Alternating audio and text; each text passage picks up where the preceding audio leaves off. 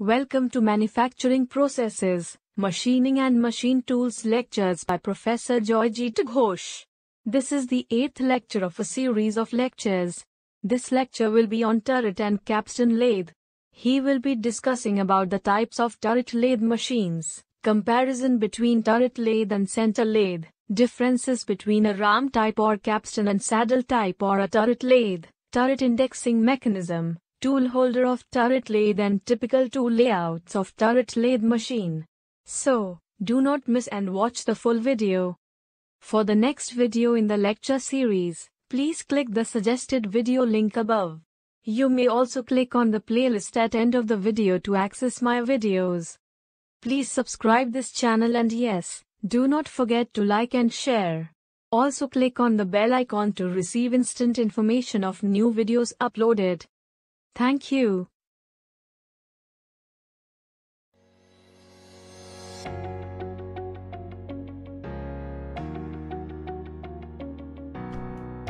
Hello friends, welcome to this lecture. In this lecture, we will be discussing about capstan and turret lathe. In my last lecture, I had discussed about center lathe. In center lathe, we have learned that the center lathe machine is a versatile machine, but only when it is being used by a skilled operator. Now, the industry wants the skill of the operator to be inbuilt on the in the machine. So, therefore, in order to automate lathe machine, the result was the turret lathe or capstan lathe. The turret lathe and capstan lathe are two different types of lathe, but sometimes turret lathe is a common name used to refer to both these type of lathes.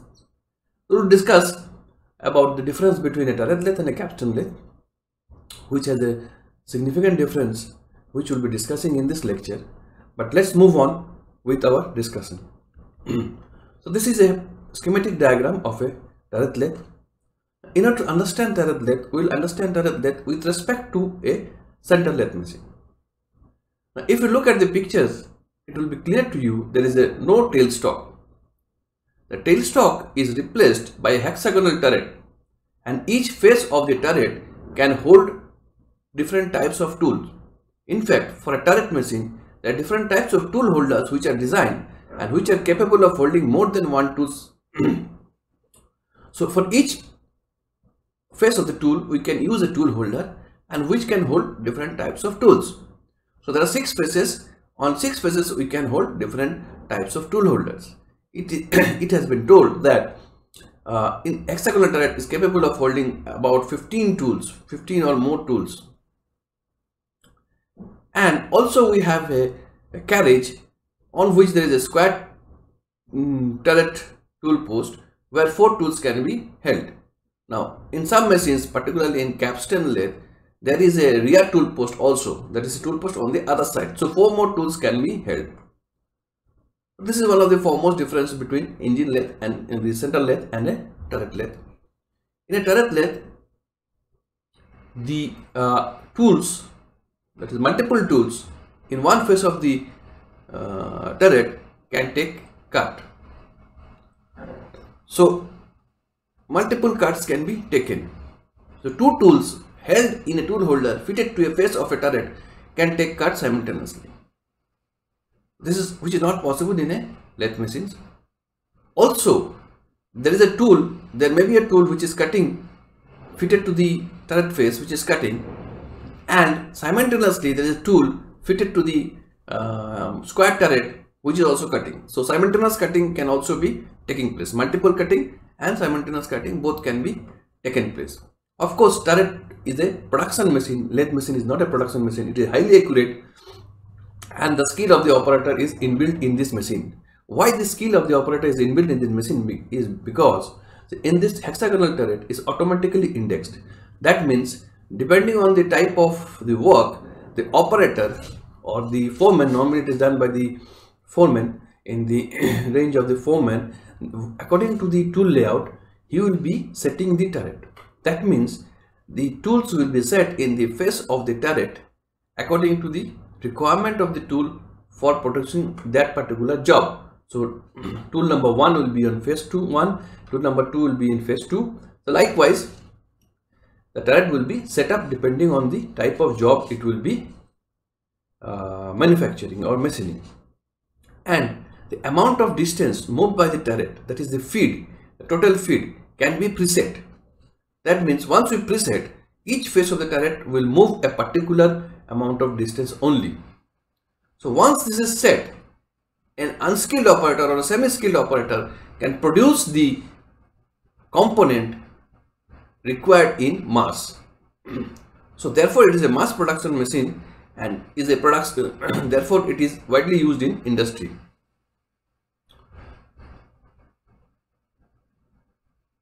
The tool the thread cutting mechanism is slightly different here.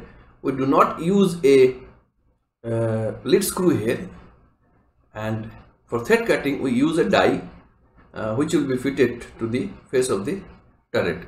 So these are the differences between an engine lathe and a turret lathe. We will also discuss the construction of the turret lathe as we discuss the difference between uh, saddle type or turret lathe and ram type on capstan lathe. okay, so these are some of the images. Okay let us discuss the differences here. Okay differences we'll discuss with this figure. So this is a turret lathe and this is a capstan lathe sorry this is a turret lathe and this is a capstan lathe so this is a type lathe and this is a ram type lathe so ram type lathes are called capstan lathe and saddle type lathes are called turret lathe now why it is called a saddle type lathe is because there is here on the bed which there is a saddle over which the turret is mounted the external turret is mounted. Whereas in this construction on the bed there is a saddle on top of the saddle there is ram on on top of the ram this, the this hexagonal turret is mounted.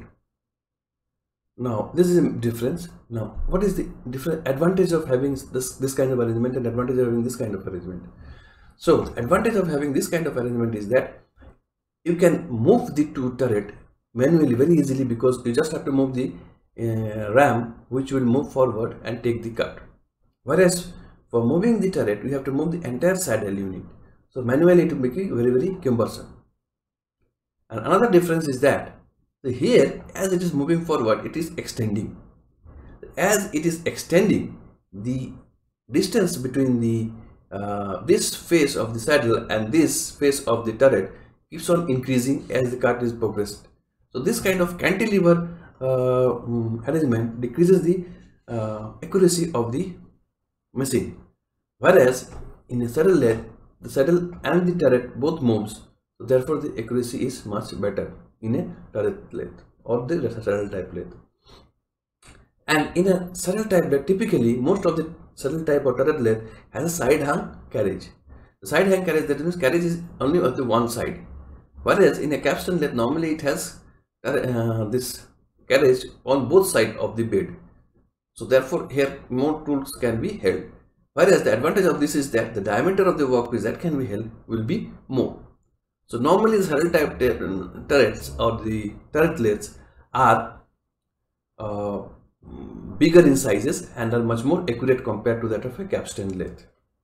So these are the differences between a ram type and a saddle type uh, turret lathe.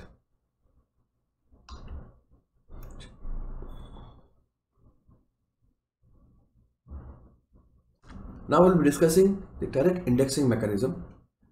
Turret indexing mechanism can be of various types. This is one particular mechanism that we'll be discussing. It is a very very interesting mechanism from mechanical and production engineering point of view. Here first we'll discuss the construction of the uh, the construction of the uh, Uh, mechanism and then we'll discuss the working of this mechanism. So as I point out the name of the component, try to identify the component in the figure. So first is number 5 is the spindle and on this spindle four components are mounted. Number 1 is a hexagonal turret, number 2 is the index plate, number 3 is a bevel gear, number 4 is indexing ratchet. Number 4 is a indexing ratchet. Now all these four are mounted on the spindle 5 which basically means if any one of the component of the 5 component rotates then the other four components will also rotate. Now currently all these five components are locked by a plunger number 14 by a plunger number 14 now this plunger is housed inside a housing mm-hmm. and it is spring loaded and it is spring loaded and notice that there is a plunger pin number 13 this plunger pin is extending outside the housing. Is extending outside the housing. Now all this all this component sorry all this component excluding number 12 of course will travel in this direction. Can travel in this direction during the cut. Now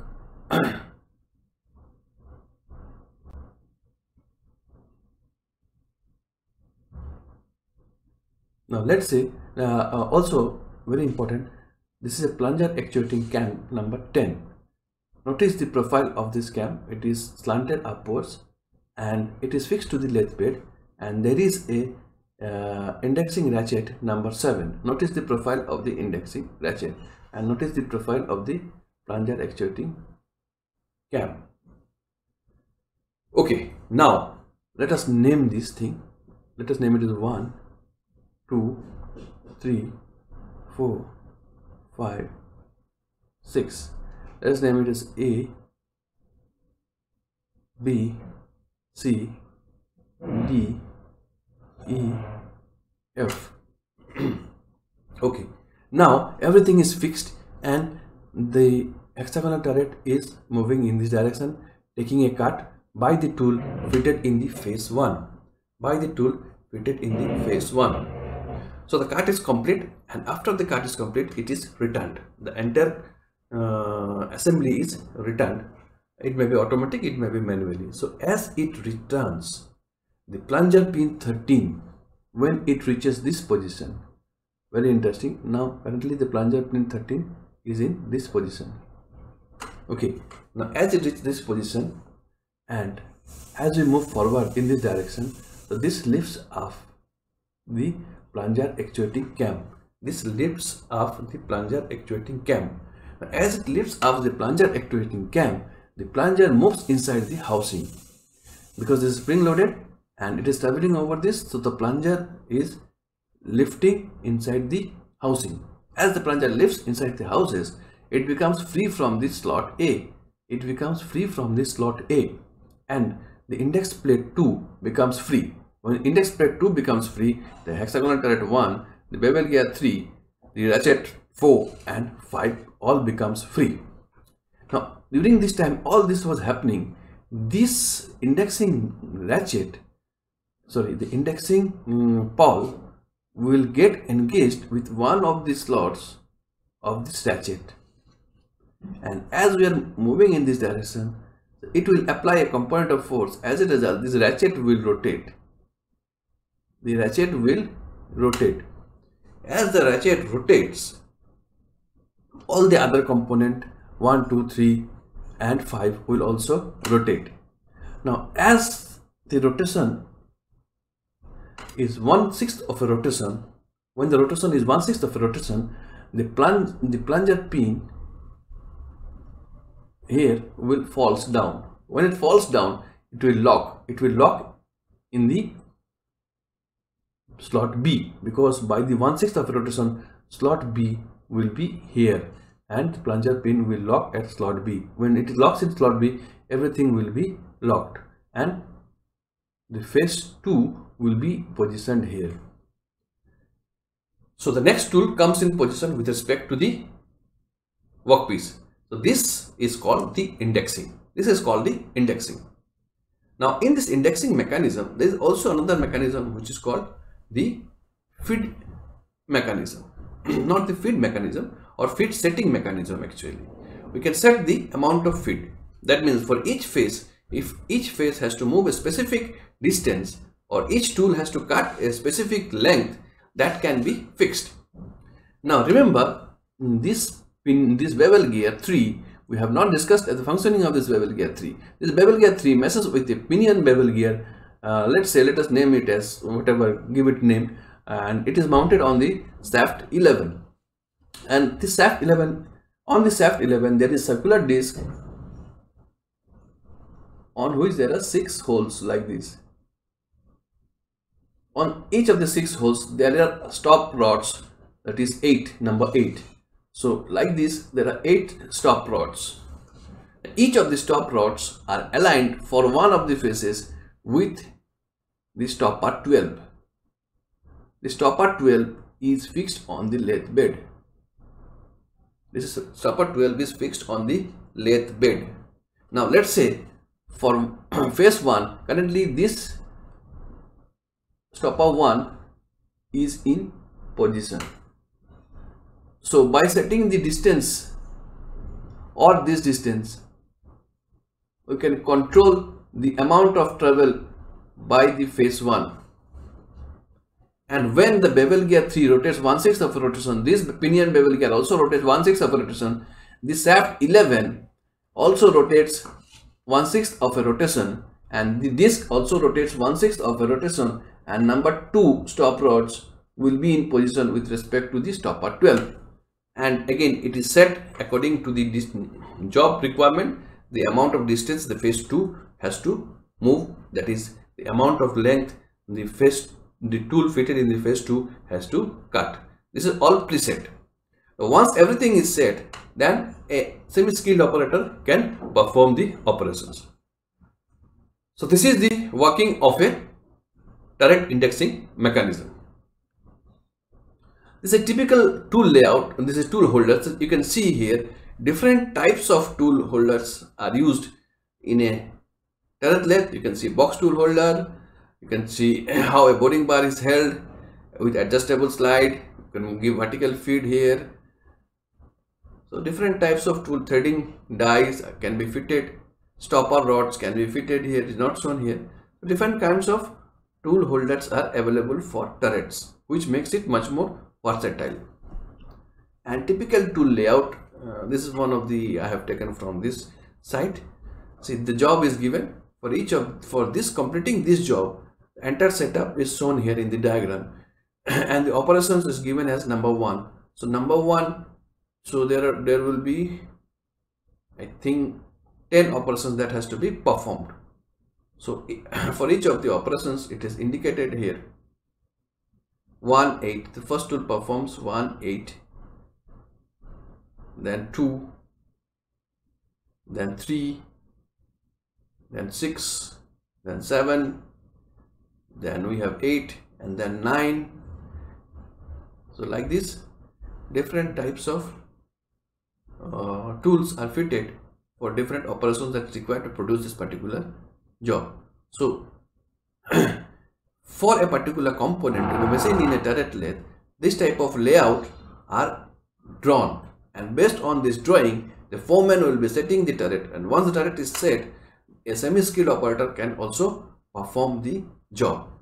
So this is all about turret lathes. It's basically a semi-automatic lathe uh, which uh, we have converted the lathe machine so that it can be used for uh, as a production machines so thank you all of you for uh, watching this video